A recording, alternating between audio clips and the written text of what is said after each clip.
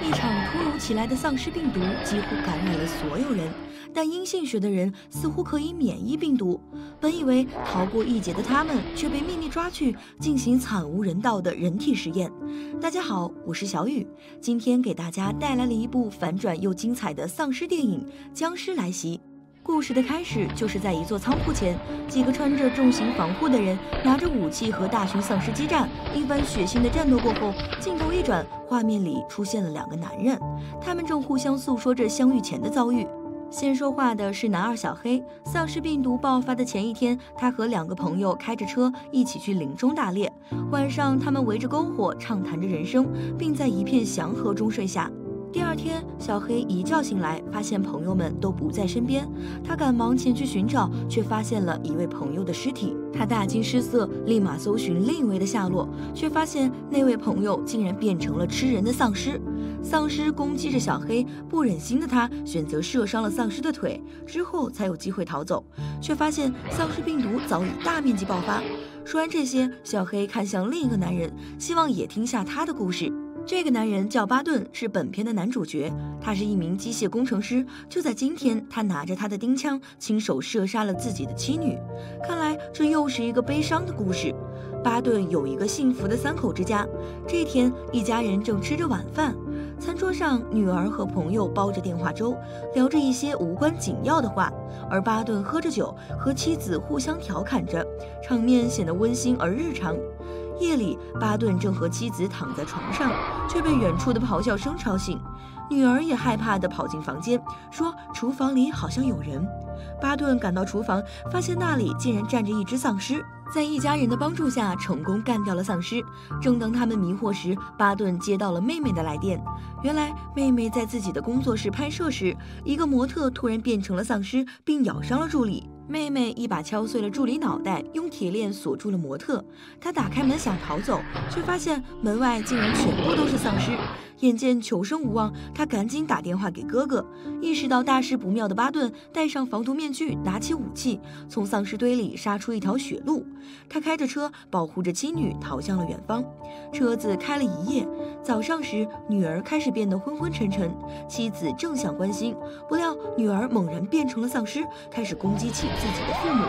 巴顿和妻子赶紧下车，可这时妻子竟开始吐起血来，他也感染了丧尸病毒。趁着神志尚未清醒，妻子吻别了巴顿。巴顿怀着悲痛的心情，先后射杀了妻女。之后，他失魂落魄地走着，正想举枪结束自己的生命，可是手中的钉枪却没了子弹。巴顿感到万分崩溃。一名胡子叔恰巧路过，正欲和巴顿进行交流，却被发疯的他一把抢过武器。巴顿抬手就要自杀，被胡子叔一把敲晕。等巴顿再次醒来，已经冷静了不少。他不再纠结于自杀了，反而让大叔改带着他去一个叫布拉布拉的地方。清醒了不少的他，准备去那儿救自己的妹妹。一路上对丧尸充满仇恨的巴顿，见到丧尸就要杀，还开车撞死了不少的丧尸。可撞着撞着，车子就开不动了。没办法，两人只好步行。却没想到，就在两人深入一处丛林时，突然一声枪响，接着胡子叔就被爆头而亡。开枪的人正是小黑，他误认为胡子叔是丧尸，结果不小心错杀好人。面对巴顿的暴怒，他后悔的直跳脚，赶忙询问胡子叔有没有事。可胡子叔脑袋都爆了，你说有没有事？事已至此，再说什么都没用了。巴顿只好和小黑组队，继续向前行进。两人来到一间仓库前，发现门外围满了丧尸，有人正在屋顶开枪。巴顿他们加入战斗，杀出了一条血路，并成功躲进了仓库。期间，一只丧尸也跟进了仓库，大家赶忙动手，丧尸血溅了一地，也是死透透了。巴顿注意到门口停了一辆车，就想向屋内的众人借车，但是众人却面露难色，不是他们不借，是所有的车都不能开了，不知道是被什么污染了，许多燃料都不能被点燃。为了证明，他们拿出汽油、煤油和甲醇依次点燃，但没半点火花。看来巴顿之前的车不是撞坏了，而是燃料点不着引起的。既然这样，众人只好继续宅在仓库里了。好在这里物资还算丰富，冰柜里还有酒和食物。打开冰柜拿酒时，却没想到冰柜里还冻着只丧尸。原来这只丧尸是他们的朋友，被感染后，大家不忍心杀它，只能把它冻在冰柜里。大伙儿虽然吃着喝着，可心情依旧沉重。这时，一个男人点了根烟，随手把没灭的火柴丢在了地上，谁知却烧了起来。众人急忙救火，原来是火柴点燃了地上的丧尸血。巴顿恍然大悟，接着他打开冰柜，看着冰柜里的丧尸，他嘴里正吐着几丝黑气。巴顿趁机对着点了把火，果不其然，丧尸嘴里顿时冒出了火。谁能想到，丧尸的血液和呼出来的气居然可以当着燃料使用？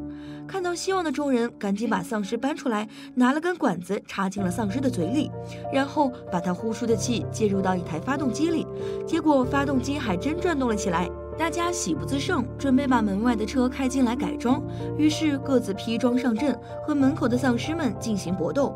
众人的战斗力都不是盖的，不一会儿就在群架中占了优势。不过在将车开进仓库的时候，有只丧尸跟了进来，并咬伤了另一个同伴。众人赶紧打晕了丧尸，并且把它加工成了燃料。接着，大家动手改装汽车，这就是巴顿的拿手技能了。他麻利地改装着，很快，一辆几乎可以抵挡丧尸所有攻击、坚固无比的汽车就完成了。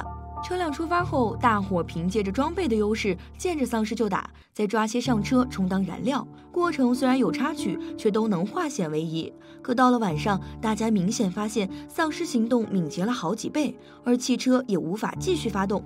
思考一番后，才知道一到晚上，丧尸们就不再吐出黑气，黑气留在体内，行动才变得迅猛很多。这样看来，只能晚上停车休息，等白天再继续启程。好在车子防护是真的坚固，即便车外全是丧尸，车内也算是非常安全的。这天晚上，巴顿没有睡好，做了一晚上的噩梦，接连梦见自己杀害妻女的场景。醒来的他看见车外的丧尸们，顿时怒从心来，愤然对着丧尸们开枪。一个丧尸被枪打中，居然着起了火。着火丧尸扑向汽车，随即汽车也燃起了大火。愧疚不已的巴顿赶紧爬到车顶灭火，在此过程中又和丧尸们展开了一场激战。好不容易才把火扑灭，巴顿钻回车内，但车顶盖却没有关紧。一位同伴伸手去关，却被丧尸咬到了手。被咬的同伴拿出了一个急救箱，打开后发现箱子里面只有酒，没有药。他拿出一瓶酒，打开瓶盖，还让大家陪他一起喝。原来他知道自己迟早要变成丧尸，想要巴顿开枪杀死自己。但要说不害怕，那是假的，所以他才喝酒壮胆。怀着愧疚和同情，巴顿了结了伙伴。这位同伴一死，队伍就只剩下巴顿和小黑二人了。他俩也当得起“队友终结者”这一响亮名号了。他俩再次开车疾行前往布拉布拉，路上刚好遇上了一辆大型卡车，开车的是两个士兵。他们说自己刚从布拉布拉赶来，军方正在那里对阴性血的人做实验，因为阴性血的人不会被丧尸病毒感染。巴顿的妹妹说不定也在那儿。他一想，可不就是之前家人们一起杀丧尸，可妻女都已经被感染了，只有阴性血的自己逃过一劫。现在遇上了军方人员，不如和他们一起走，还能见到妹妹。犹豫片刻，巴顿开车跟了上去。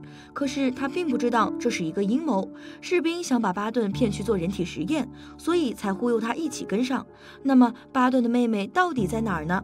那天晚上，妹妹被赶来的士兵救下，可他们并不是好人。在发现妹妹是阴性血之后，便把她和几只丧尸一起关了起来，随后交给了一个怪异的科学家。这个科学家变态又疯狂，他热衷于用丧尸做各种血腥的研究，并享受着丧尸们的哀嚎。他大声放着音乐，一边蹦迪一边抽取丧尸的大脑。最后，他抽出一管丧尸血，并把血注射进妹妹的体内。让人意外的是，妹妹。却没有变成丧尸。注入丧尸血后的他似乎能感应到其他丧尸。一旁的丧尸们渐渐安静了下来，其中有只丧尸还趁科学家打瞌睡时，机智地摆脱了束缚，想要偷袭科学家。不料对方突然惊醒，还成功反杀了丧尸。而一只躺在担架上的丧尸猛地一蹬墙，划着担架就来到了眼前。他一口咬住科学家，科学家为了自救，一把锯掉了自己的手臂。接着，他还想锯开妹妹的大脑继续实验，然而他却不受控制一般锯开了妹妹的束缚，还把枪交到了妹妹手上，要她杀掉自己。原来注入丧尸血的妹妹意外得到了控制丧尸的能力，她控制着丧尸袭击科学家，在对方被咬感染后，又成功的控制了他。一切结束后，妹妹逃出了这个实验室，打开门后却看到了巴顿的车。他之前被关的地方并不是什么实验室，而是一辆大卡车里。巴顿阴差阳错的一路跟着的，竟然是劫持妹妹的卡车。士兵们眼看事情败露，立即向巴顿等人开火，双方开始了一场激烈的飙车枪战。可刚摆脱掉追兵，巴顿的车却无法启动了。下车查看，才发现充当燃料的丧尸都被打死了。好在问题不大，妹妹转身召唤一只丧尸从路边窜了出来，乖乖钻进车内充当了燃料。可是这时追兵又追了上来，他们一枪打中了小黑，眼看小黑伤势严重，巴顿等人只好把车停进树林。此时士兵们叫来了长官，带着大批增援前来抓人，寡不敌众，巴顿等人还是被俘了。他们一只手被铐在车上，被士兵们殴打着，试图引出妹妹。为了哥哥他们不受罪，妹妹还是选择束手就擒。接着，她被几人压着，正要被砍下头颅。关键时刻，小黑把手伸进车底，摸出了之前藏进去的回旋镖。他用镖切断胳膊，接着冲进人群，就是一顿扫射。但是长官躲掉了攻击，还开枪秒杀了小黑，但也为妹妹争取了时间。他召唤大批丧尸攻来，看着只身一人的长官，他命令对方放下武器，不然就让丧尸吃掉他。可谁知对方也是个横着走的硬茬，非但不听，还一枪打死了妹妹。被控制的丧尸群也都跟着倒了下去。巴顿怒不可遏，捡起回旋镖扔向长官，但只打落了对方的头盔。他大声喊着要决斗，没想到长官同意了。他解开巴顿，两人准备进行单挑。这迷之操作真是透着满满的自信。事实证明，长官是有自信的资本，巴顿哪是他的对手？很快就变成单方面被殴了。他站在车边，正嘲讽着巴顿呢，却一不留神被车里的丧尸给吓了一跳。他抬手一枪灭掉丧尸，却也因距离近被溅了一脸血。抓住机会的巴顿赶紧点燃一根火柴，并扔在长官脸上，顿时长官整个头都燃烧了起来。巴顿起身捡枪，准备给对方最后一击，却看到妹妹居然完好无损地站了起来，周围的丧尸也都站了起来。只要脑袋不被击中，妹妹是不会被杀掉的。于是他大声呼喝，众丧尸得到指令，开始吞噬着长官。从此之后，巴顿和妹妹就开始四处拦截军车，以自己为诱饵，引诱军方注意，然后再召唤出躲在四周的丧尸大军，一起袭击对方。可见，在整个病毒事件里，军方一直是幕后的大黑手。为了报仇，兄妹俩才走上这条路吧。故事也就这样结束了。整部电影充满了意外和反转。丧尸病毒并不是天灾，而是人为。无数无辜的人变成了这场实验的受害者。最终，受害者看清现实，统领着丧尸前来复仇。这样的结局让人意外的同时，也引出了更深的思考。总的来说，这还是一部非常值得观看的丧尸类电影。好了，本期的视频到这里就结束了。喜欢我们的，别忘了点赞加订阅哦。我们下期再见。